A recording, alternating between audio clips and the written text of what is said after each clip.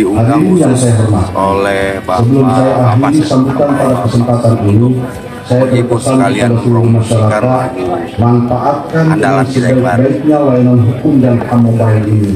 Karena layanan ini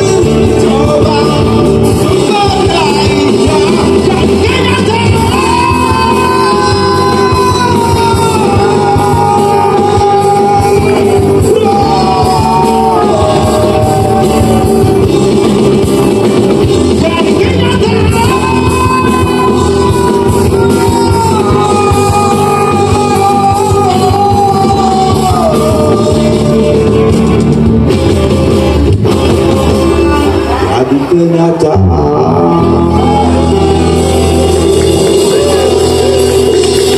terima kasih.